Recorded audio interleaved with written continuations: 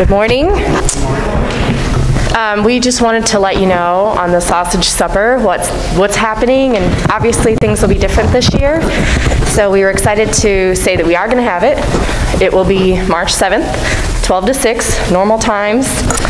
Um, it will be solely drive-through. That's it. So no no general public will be in the building. Everything will be through cars and drive up. We're, we're ironing out all the wrinkles right now. We've got a lot of things um, figured out for the most part, so we're very happy to have it. Um, we do still need some volunteers, but it'll be a little bit different. So we'll have kitchen, um, multiple carry-out lines that we'll need help for, and, and the desserts area.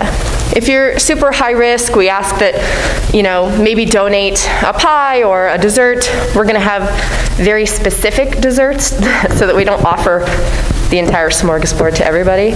Um, so it, most of that information will be um, on our Facebook link. We'll also have it in the Troy Lutheran. We'll have it in the bulletin. Um, but it's a link that can go. You can go in and sign up for certain jobs. That way, you can read the description and decide if that's something that you would like to do. Um, otherwise, if you have any questions, you can give us a call. Um, on the back of your bulletin is a sausage supper pre-order. This is if you want raw, uncooked sausage.